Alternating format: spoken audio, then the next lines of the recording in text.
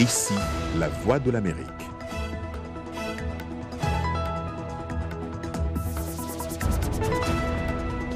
Bonsoir à tous, ravi de vous retrouver pour cette nouvelle édition de votre journal. On commence tout de suite par les titres. Comment le Togo fait-il pour contenir la propagation du nouveau coronavirus et limiter son impact sur l'économie du pays? Nous le saurons dans un instant avec Kayi Lawson, notre correspondante à Lomé. En Afrique du Sud, la pandémie du nouveau coronavirus semble être un fardeau de plus qui menace particulièrement les populations des bidonvilles. Un fardeau qui vient s'ajouter à ceux de la tuberculose et du VIH frappant déjà le pays. Ici, aux États-Unis, l'efficacité de la chloroquine dans le traitement du COVID-19 était un sujet fortement débattu ce week-end et cette fois-ci le centre du débat était au cœur même de la Maison Blanche alors même que le nombre de cas enregistrés s'élevait à plus de 337 000 ce lundi matin.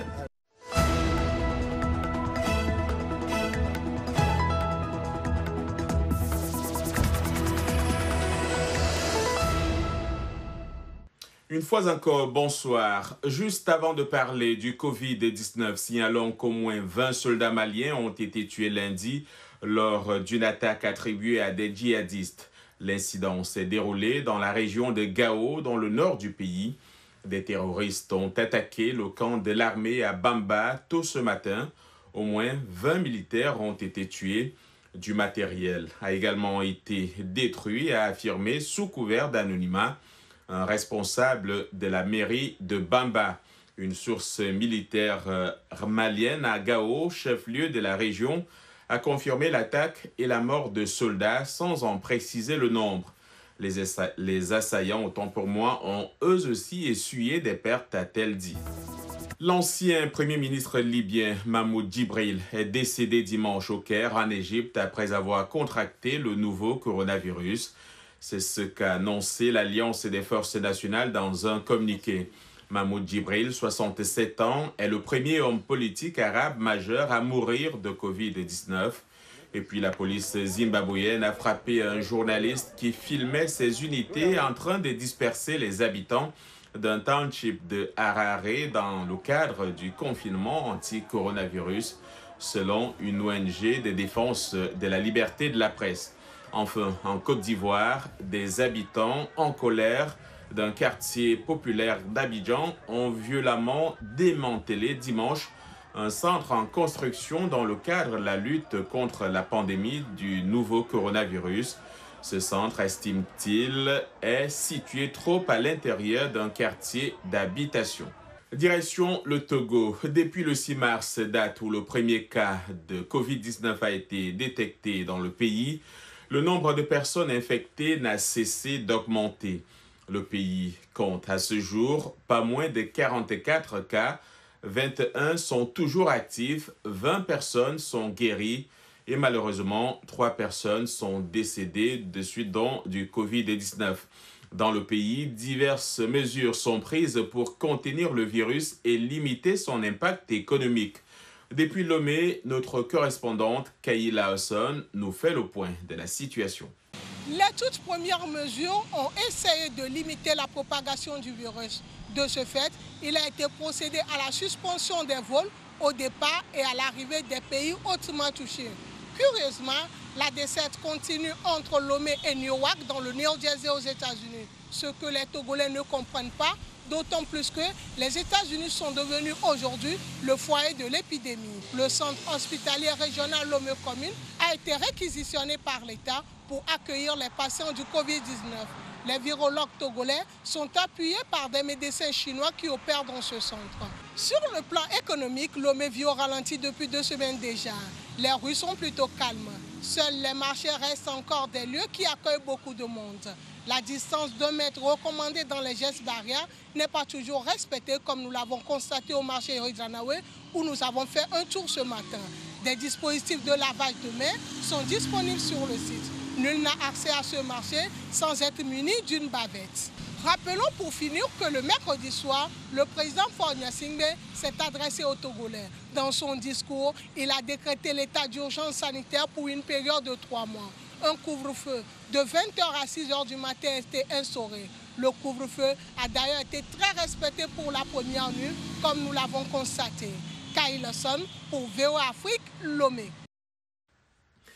Dans une interview diffusée la semaine dernière sur la chaîne française LCI, un chef de service de l'hôpital Cochin à Paris et un chercheur de l'Institut français de la recherche médicale suggéraient qu'un vaccin contre le Covid-19 soit testé en Afrique. Ces déclarations ont entraîné de vives réactions. Pour en parler, Arzuma Compaoré a joint à Bruxelles l'analyste politique Henri Désiré Zouzi. Ces chercheurs ont fait preuve de maladresse de langage euh, en abordant euh, le sujet, euh, à un moment où, depuis maintenant plusieurs semaines, la propagation du coronavirus s'est faite majoritairement en Occident, mais aussi aux États-Unis. Et donc l'idée d'envisager de procéder à des vaccinations à grande échelle sur le continent, qui pour le moment, heureusement, ne déplore pas un nombre aussi important de personnes contaminées euh, ni de victimes, euh, cela pose effectivement problème. Et puis surtout, le plus important, c'est euh, pourquoi cette communication, cette surcommunication négative sur ce qui va arriver sur le continent. On est très conscient du fait que l'Afrique est peut-être moins bien préparée pour faire face à l'épidémie, mais de là pouvoir envisager les hypothèses les plus catastrophique, ça dénote tout de même, et ça, ça pose réellement problème, une volonté délibérée de noircir le trait et de, de maintenir justement ce continent africain dans une situation dans laquelle on est habitué à l'avoir, celle d'être le foyer de toutes les tensions, de tous les conflits, de toutes les épidémies. Et ça, les Africains n'en veulent plus. Ce qui est très clair, c'est qu'aujourd'hui, l'Africain, l'Européen, l'Américain, l'Asiatique sont sur un seul et même pied d'égalité. Ils sont tous égaux devant le coronavirus. Une première chose. La deuxième chose qui apparaît très clairement, c'est qu'effectivement, en termes de géopolitique et de stratégie, il y aura euh, incontestablement une redistribution des cartes. On voit très bien d'ailleurs à l'heure actuelle comment se comportent les principaux acteurs qui essayent de tirer profit euh, de cette crise pour soit se renforcer ou soit être en capacité de rebondir au lendemain de la pandémie. L'Afrique, pour l'instant, fait partie des nains. Et donc, doit être en capacité de faire entendre sa voix, qui n'est pas aisée. Et encore faut-il que l'Afrique soit unie dans son combat contre le coronavirus. Avant même que l'Afrique du Sud ne devienne le continent le plus touché par le nouveau coronavirus, le pays se débattait avec un système de santé frappé par la tuberculose et le VIH. Les experts de la santé affirment aujourd'hui que la population vulnérable des bidonvilles pauvres et surpeuplée est désormais encore et malheureusement plus menacée. C'est un reportage de Franco Puchlisi de Johannesburg. Le récit est signé Thierry Kaoré. Les bidonvilles surpeuplées d'Afrique du Sud souffrent car le pays a le taux d'infection de tuberculose et de VIH le plus élevé au monde. Cela signifie que des millions de Sud-Africains pauvres ont déjà des problèmes de santé. Les experts pensent que la menace supplémentaire du nouveau coronavirus pourrait mettre à genoux un système de santé déjà fragile. If it's a community outbreak with only a few people affected and we can contain the virus, si c'est une épidémie communautaire avec seulement quelques personnes touchées et que nous pouvons contenir le virus, tout ira bien. Nous pourrions le gérer. S'il s'agit malheureusement d'une épidémie, disons dans un des quartiers informels, le risque de personnes gravement malades là-bas serait pire et ce sont aussi ces personnes qui devront être hospitalisées et je ne pense pas que le système pourra traiter un afflux massif de personnes gravement malades.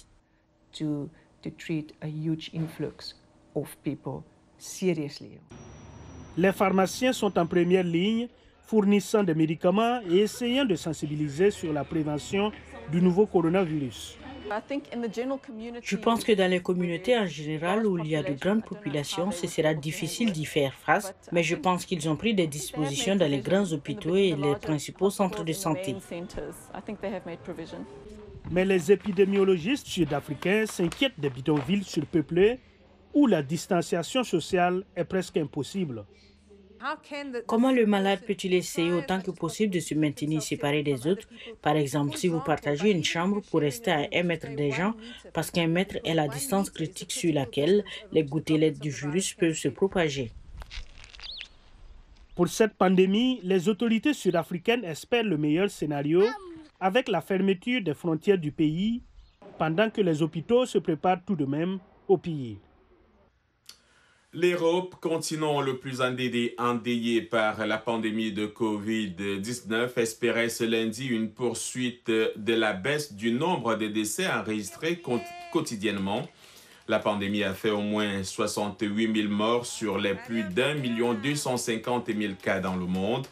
En Grande-Bretagne, le Premier ministre Boris Johnson a été hospitalisé dimanche, dix jours après avoir été testé positif et la reine Elisabeth II a appelé le peuple britannique à faire preuve d'autodiscipline et de détermination lors d'une adresse. En Italie, la courbe a commencé sa descente selon le patron de l'Institut supérieur de la santé. Même constat en Espagne où, après plus de 13 000 morts, les hospitalisations et les admissions en soins intensifs ont baissé. Au Japon, le Premier ministre Shinzo Abe va déclarer un état d'urgence d'un mois. 3650 cas de coronavirus et 85 décès ont été déclarés dans le pays. Les États-Unis, qui s'attendent à une semaine extrêmement difficile comparée par ses dirigeants, aux attentats du 11 septembre et ce week-end, à la Maison-Blanche, un désaccord houleux sur l'efficacité de l'hydrochloroquine a opposé les conseillers de Donald Trump. Ce dernier soutient l'utilisation de la chloroquine malgré les rares preuves scientifiques de son efficacité dans le traitement du COVID-19. Près de 10 000 personnes sont décédées de suite du nouveau coronavirus ici aux États-Unis, selon le décompte de l'université Johns Hopkins. Le pays compte plus de 3 000, plus de 3 000, plus de 337 000 cas autant pour moi. C'est un terme qui revient souvent dans les conversations relatives au coronavirus ces derniers temps. Distanciation sociale ou social distancing en anglais. Alors, qu'est-ce que c'est que la distanciation sociale ou distanciation physique? Dans notre rubrique Question du jour, Salwa Jafari vous livre quelques éléments de réponse.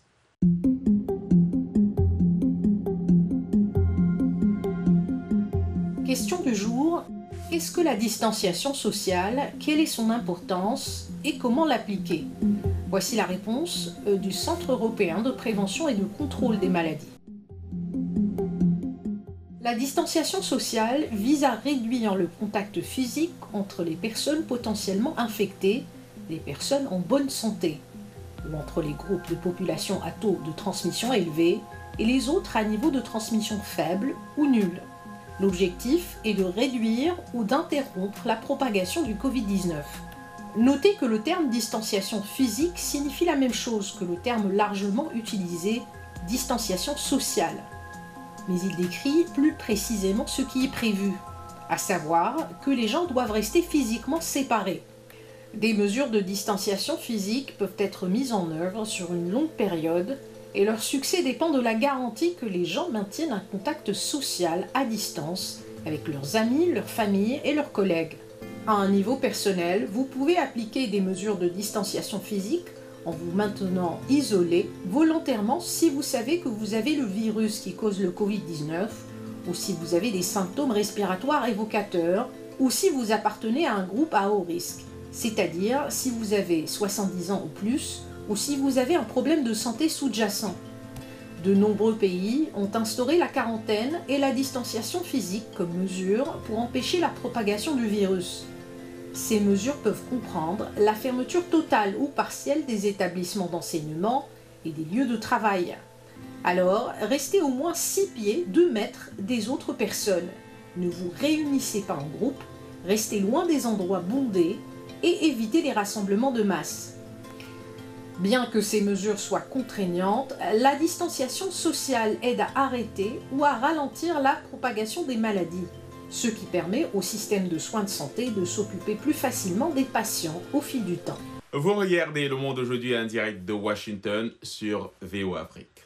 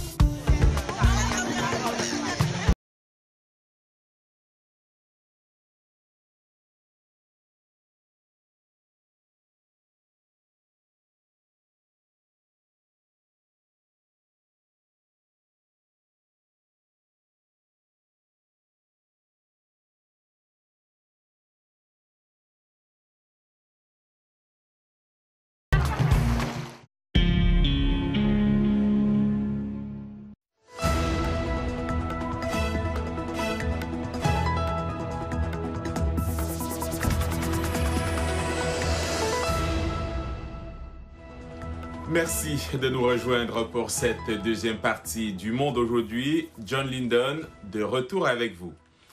Alors que le nombre de décès dus au coronavirus augmente aux États-Unis, l'élection présidentielle de novembre 2020 se présente désormais comme un référendum sur la manière dont le président Donald Trump gère la pandémie. Il n'a pas hésité à être politique et sa campagne cherche à capitaliser sur l'image du commandant en chef en période de crise. Patsy Huidakwazura, correspondante de VOA à la Maison-Blanche, fait le point. Le récit est de Lionel Gaïma. Alors que la pandémie fait des ravages dans le pays, le président Donald Trump tente de protéger l'image d'un leader efficace en temps de crise. Il tient des séances presque quotidiennes d'informations télévisées à la Maison Nous sommes en guerre contre un virus mortel. Le succès de ce combat va nécessiter la mesure absolue de notre force collective, de notre amour et de notre dévouement. Récemment sur Twitter, il s'est vanté du taux d'approbation de ses points de presse, incitant certains observateurs à le critiquer sévèrement pour avoir politisé la pandémie. Nous ne devrions pas nous soucier de la popularité d'un briefing présidentiel. Et il semble plus intéressé par ses performances dans les classements que par le nombre de décès aux États-Unis. Maintenant que les grands rassemblements ne sont plus permis à cause du nouveau coronavirus, les points de presse deviennent un substitut. Euh, Trump utilise certainement ces points de presse pour faire avancer sa cause. Uh, Il pense qu'en se mettant dans cette position, chaque jour dans les foyers des Américains, cela produira un ralliement uh, autour de l'effet drapeau.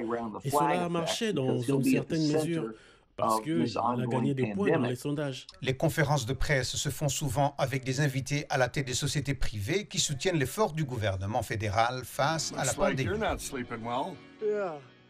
dont un fabricant d'oreillers qui va produire des masques de protection et qui a exprimé son soutien à Donald Trump. Dieu nous a donné la grâce le 8 novembre 2016 pour changer le cours de l'histoire. Aussi, l'histoire enseigne que les présidents sortants ont souvent un avantage en temps de crise. Dans le cas de M. Trump, il a maintenant les meilleurs scores de la présidence, ce qui représente une opportunité pour sa campagne. S'il était plus discipliné et s'en tenait aux faits plutôt que d'inventer des choses, il aurait eu une meilleure chance de réélection. Il ne va pas gagner par un raz-de-marée, c'est sûr. Il doit gagner quelques pourcents de plus pour assurer sa réélection. Sa campagne doit également faire face à des publicités négatives décrivant le président comme une catastrophe dans la gestion de la pandémie. Sa campagne exige que les chaînes de télévision cessent de diffuser cette annonce produite par un comité de soutien aux candidats démocrates. En attendant, M. Trump devrait continuer avec les séances d'information quotidiennes sur le nouveau coronavirus, ce qui est un puissant forum pour plaider en faveur de sa réélection. Nous sommes lundi et j'imagine que ce rendez-vous commençait à vous manquer. C'est celui d'Afrotech qui reprend donc et c'est avec Arzuma Compaore. Bonsoir Arzuma.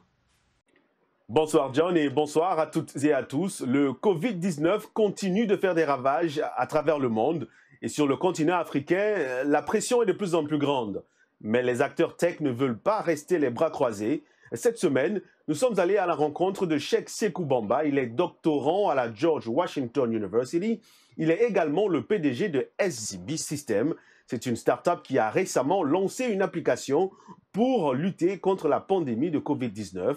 Sheikh Sekou Bamba, vous êtes euh, le co-créateur de cette application euh, qui, lutte contre la pandémie. Alors, c'est quoi Apollo? Apollo, c'est une, application de triage et qui, est, qui, qui, comment on appelle ça, qui va en fait plus loin. Vous vous faites tester. Avec votre résultat, vous avez déjà en fait euh, des conseils et des moyens à suivre. Et le numéro d'urgence, c'est tout available. Et ensuite, euh, le gouvernement prend la, la seconde partie du relais, vous traite normalement et tout.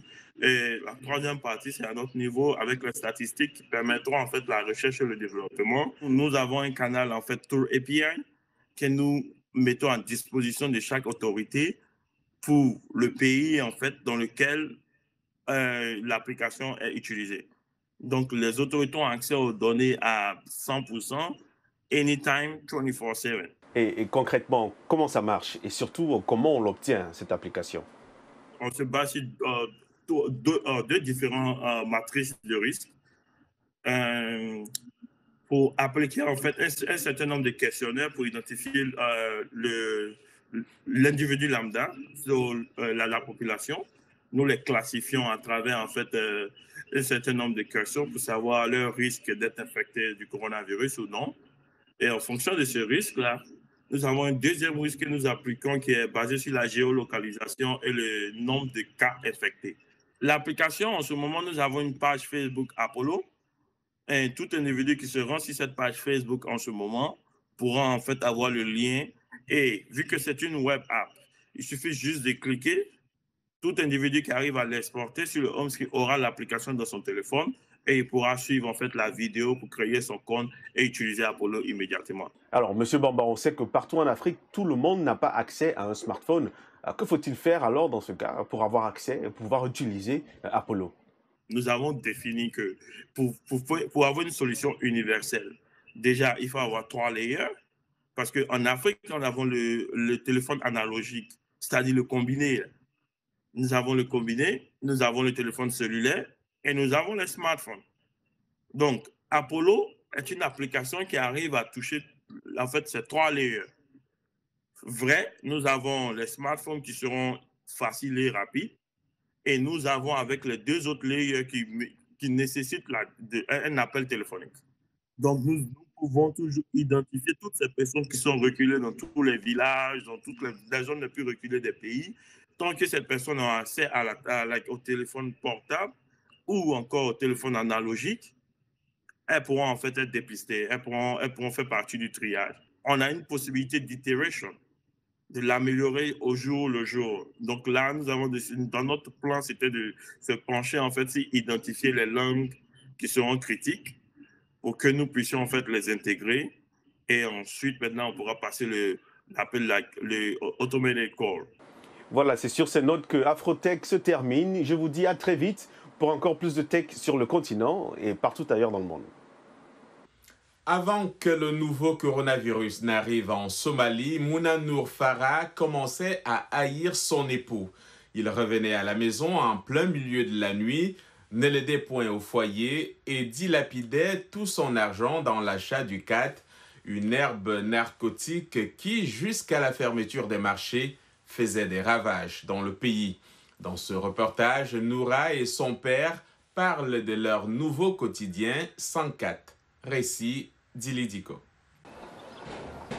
avec la propagation du nouveau coronavirus en Afrique de l'Est et son arrivée en Somalie, les marchés de cat ont été interdits par les autorités.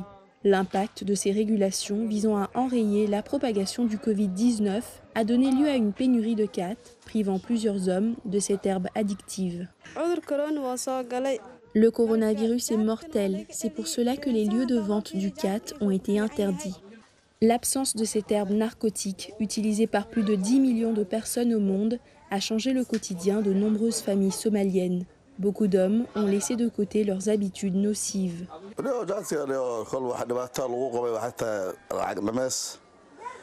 Le CAT a pris tout mon argent. Je cachais beaucoup de choses. J'attendais l'heure de la prière, l'appel de la mosquée. Mais au lieu d'y aller, je rejoignais un groupe d'hommes et nous nous rendions dans des kiosques athées pour mâcher du CAT.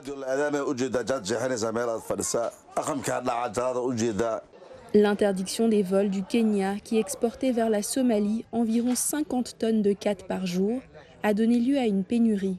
Les prix du cat, une herbe très périssable, ont grimpé en flèche. Mais pour les femmes somaliennes, le nouveau coronavirus a apporté une bénédiction inattendue. Mon mari était violent. Il rentrait à la maison à 3 heures du matin. Maintenant que le cat a disparu, mon mari rentre plus tôt. Chez les Farah, les femmes prient pour que l'interdiction du marché de cat soit maintenue. Et le père de Mouna, qui a cessé de mâcher du cat après 20 ans de dépendance, est fier de passer enfin du temps avec sa famille.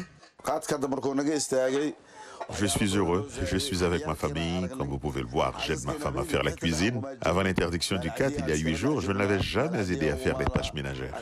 Maintenant, je dors bien, je suis heureux avec mes femmes et mes enfants et j'économise de l'argent. Désormais quasi désert, le jardin de Kat, surnom donné au marché de Kat de Mogadiscio, n'est plus fréquenté que par quelques enfants jouant au foot. L'éducation du public sera essentielle pour arrêter la propagation du nouveau coronavirus en Afrique. Salem Salmon de VOA nous dévoile à travers ce reportage comment des personnalités éminentes utilisent la musique comme un outil pour atteindre les masses. C'est un récit de Blanche Sanou. La musique est souvent considérée comme un langage universel. En essayant de diffuser des informations vitales sur la pandémie du nouveau coronavirus, les artistes africains ont remarqué que le message passe plus vite avec des rythmes. La plupart des musiciens du continent ont donc enregistré des chansons sur la distanciation sociale, la détection des symptômes et bien sûr le lavage des mains.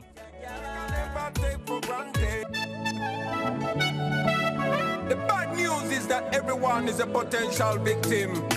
But the good news is that everyone is a potential solution. L'artiste musicien Bobby Wine s'est associé au chanteur Nibian Lee pour sortir une chanson de sensibilisation intitulée Coronavirus Alert.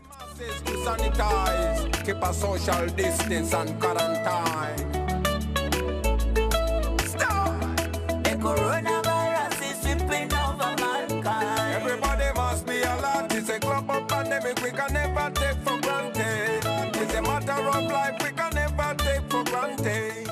Un autre personnage qui prend au sérieux cette pandémie, c'est le président libéré George Weah.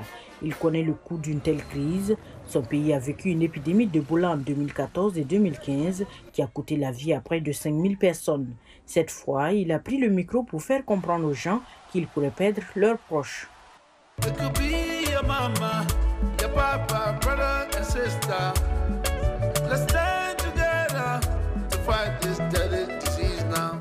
En Afrique du Sud, le pays du continent le plus durement touché par le virus, avec plus de 700 cas, un groupe musical tente de briser les mythes.